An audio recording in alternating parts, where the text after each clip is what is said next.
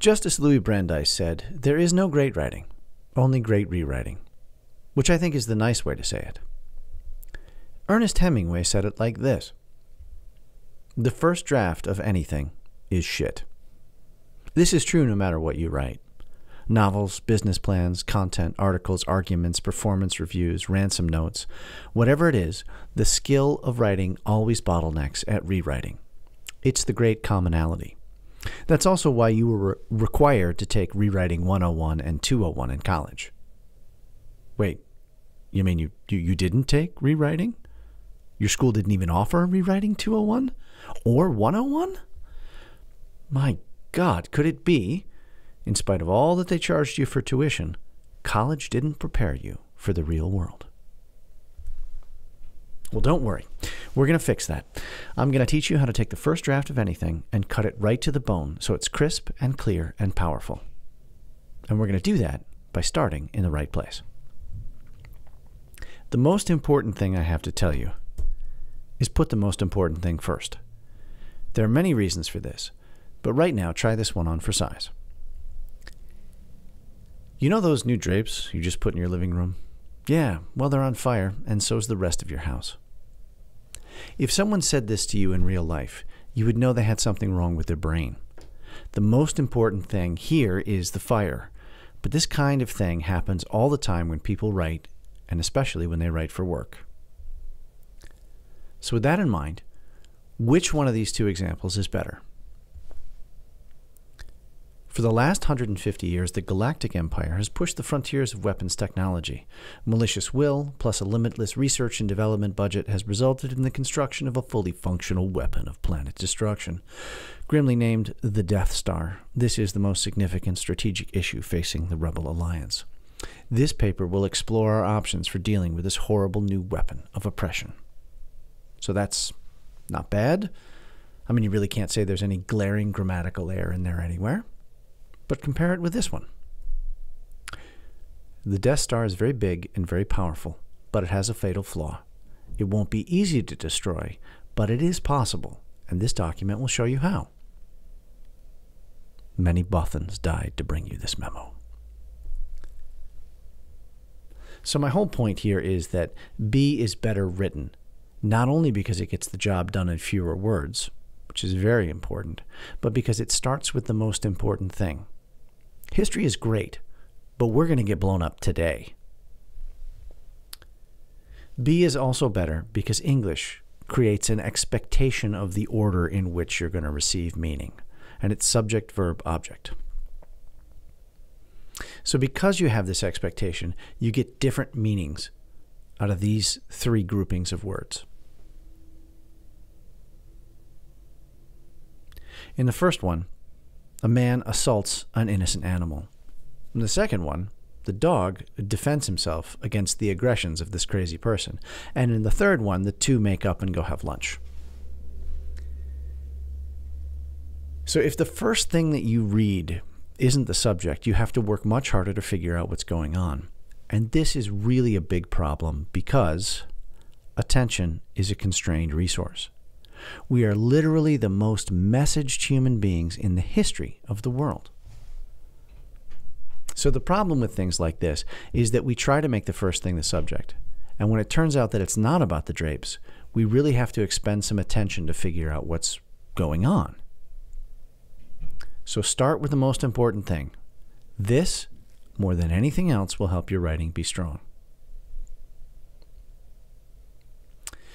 So this is a real example taken from a document that someone wrote to recommend how a client should use Pinterest. And this is the first part. It started right here. And it went on for this vein in some time. You know, Pinterest defines itself as the site, blah, blah, blah, blah, blah, pinboarding site, explanation, blah, blah, blah. But it went on for this like this for a while until the second page you got to this heading. Pinterest recommendations for the client. Now logically this should have come first the here's what we suggest you do goes right up front in any recommendation. Not what Pinterest is, and not even that much of an explanation of why. I mean, that's important, and it should be included, but it shouldn't go first. For two reasons. If the reader agrees with your course of action and they know what Pinterest is, you haven't wasted their time. And believe me, people hate you when you waste their precious time and attention. So here's how I might structure the thing how social media fits into our strategy, which, broadly speaking, is always a matter of raising revenues or lowering costs. Then I would go to why Pinterest is a good fit for this strategy, how we should use it, a detailed plan, then probably as an appendix, background intro on Pinterest itself. But honestly, why? Just throw in a link to Pinterest.com and let them explore it themselves and make up their own mind.